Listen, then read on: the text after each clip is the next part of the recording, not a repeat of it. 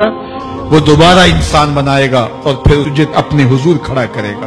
اور ایک حدیث میں آتا ہے، اللہ بندے کو اپنے حضور کھڑا کرنے کے بعد اپنے سامنے سے ہٹنے نہیں دے گا، جب تک پانچ سوال نہیں پوچھ لے گا۔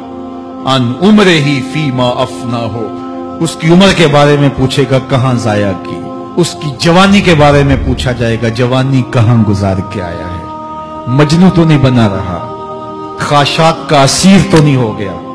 دیوانوں کی طرح زندگی تو نہیں گزار کے آ گیا۔ تیری جوانی کسی چوک میں تو نہیں گزری۔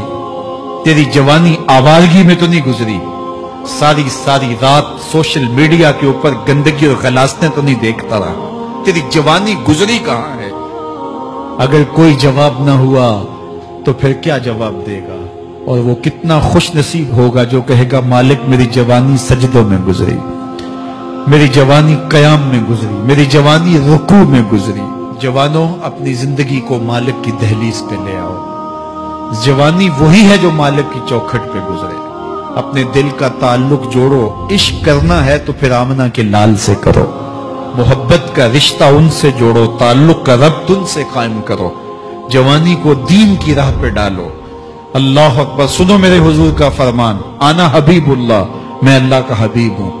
پھر فرمایا اشاب الطائب حبیب اللہ۔ جو جوان جوانی میں توبہ کرے، وہ بھی اللہ کا حبیب ہے۔